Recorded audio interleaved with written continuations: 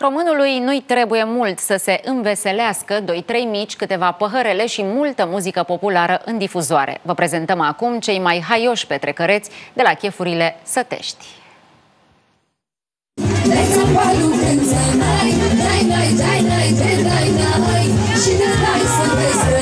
Hai ieșiți cu toți la dans, la la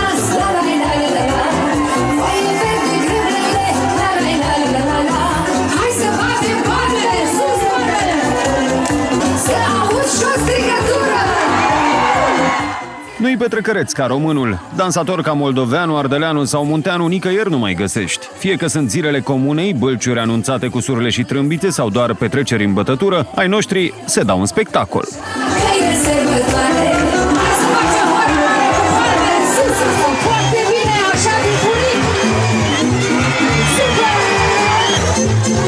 Se dă o luptă crâncenă pentru titlul de cel mai bun dansator din sat. Mișcări învățate care pe unde a apucat, dar talent cu carul. Îmbrăcat într-o fustă care nu-i limitează mișcările, mamaia din imagini încearcă dansul care s-ar putea numi dansul peștelui pe uscat. Cu unduiri și sărituri zbuciumate, femeia reușește să lase pe toată lumea cu gura căscată. Nu se lasă neam, cântă și dansează de-i face pe toți cei prezenți să imortalizeze spectacolul.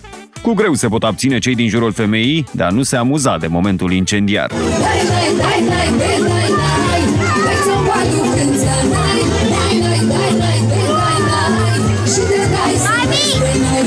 Să fie aceasta oare rețeta unui bălci reușit, 2-3 mici în farfurie, câteva pahare de bere rece și Lorena, cântăreața cu lipici la public pe scenă. Ce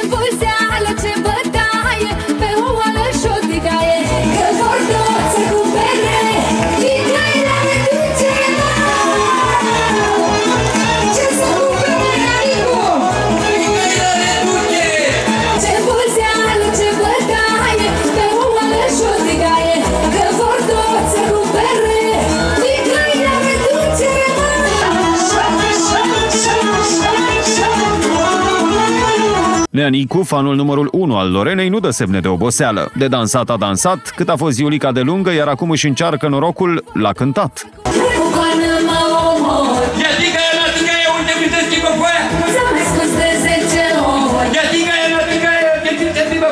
De apreciat însă curajul. Să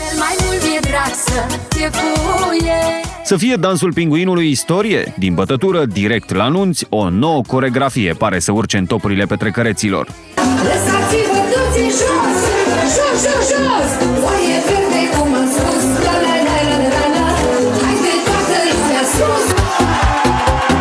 Și cum altfel se poate încheia o petrecere sătească dacă nu ca în filmele de la Bollywood? Tata e pupă cum ai pupat-o mai înainte!